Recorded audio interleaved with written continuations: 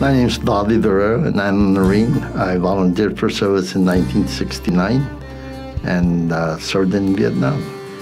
We went out on the convoy of five armored personnel carriers, getting ready to cross a rice paddy as we started to turn.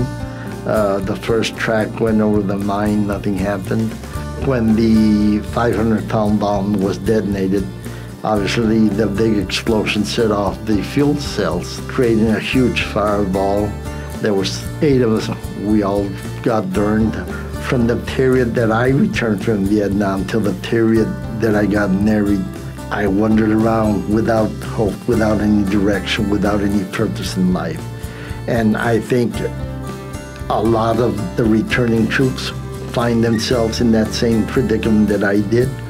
So I'd like to share a bit of myself, a little bit of my story with them, hoping that they too have that turning point, that they too find themselves, that they too are able to focus on their abilities rather than disabilities.